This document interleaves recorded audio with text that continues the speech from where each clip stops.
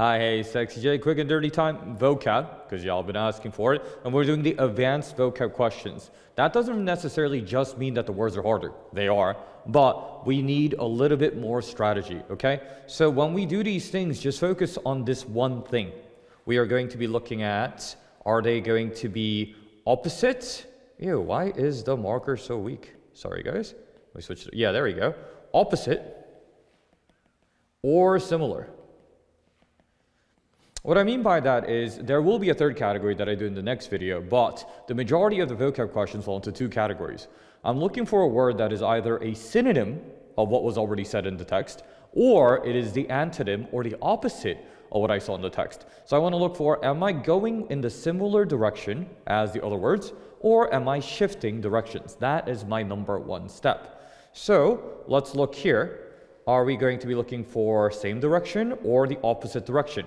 And once I noticed that, you guys see here, these words are not the highest level of vocab, but um, I would argue subversive should let you know that this is not a beginner beginner question, right? It's in the advanced question.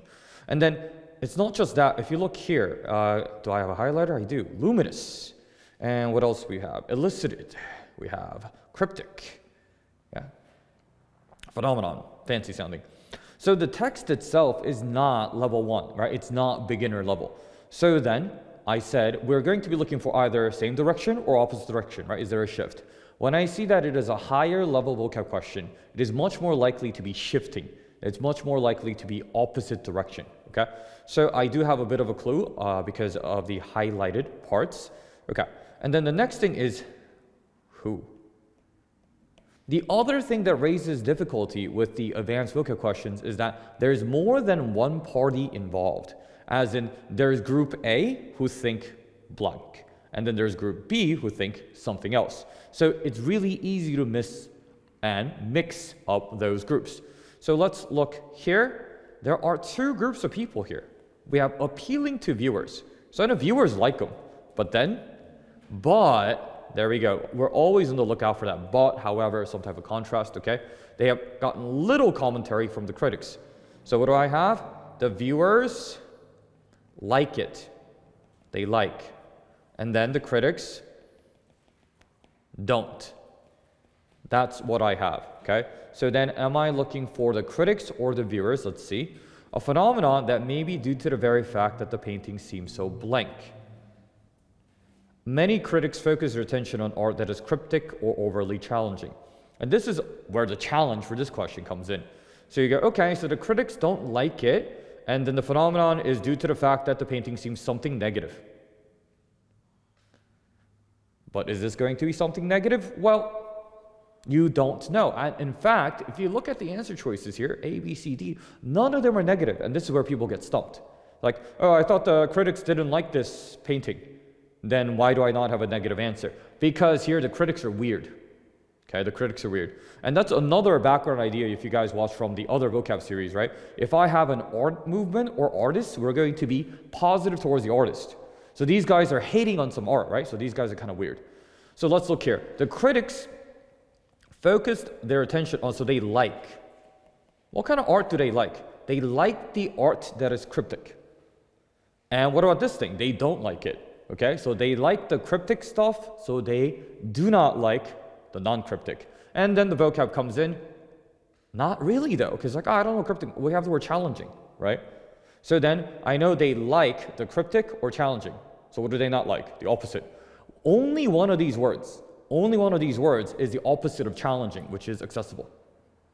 So there we have it. That's our answer. Answer is B. Now, if I break this down, if you were to jump right on it, and if you were, you know, getting a lot of reps in through practice, you would go, okay, so the critics, they like the cryptic and the challenging, so they would not like the accessible, and you're done. And that's B, okay? But what if I was not on that train of thought? That's why I'm breaking down the advanced question, right? Notice here that A and D are the common positive things we say about the artist because digital SAT, they have caught on to the fact that we have caught on to their patterns. So innovative and subversive, they both mean you're doing things super, super differently, and that's normally the good thing we like about the artist. So they put them in there as trap answers so that you're like, oh, it's an art passage. I've seen those as answers before, so that's a trap, okay? Now, how can I avoid that trap?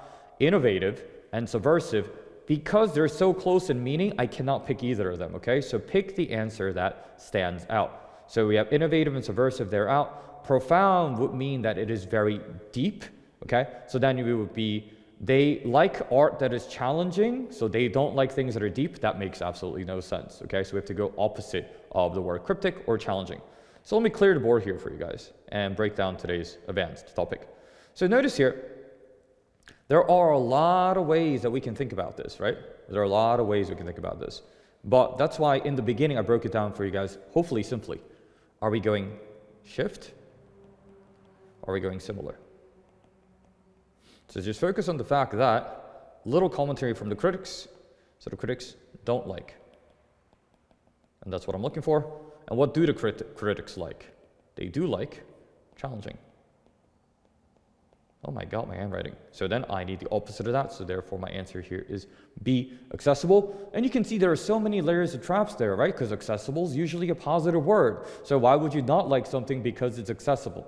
No, no, because the critics are weird. Okay, so that's our first installment in the vocab series, and I'll be really getting down into the details on the vocab series of how to break them down, especially when we might not have every single word available to us in our vocab bank. Oh, and because you guys have been asking so much, if you guys want to study for the vocab, do Google SAT vocabulary 2400, right? And whatever list you find from that should probably be okay because when the SAT was out of 2400, there was a vocab section, so the resources from there do apply. In fact, they are more challenging than what's on the digital SAT, so you'll be over prepared if anything. Okay, so that's it for today. Thanks for watching. As always, study every day with who? Sexy J. That's the best way. You already know. Bye bye.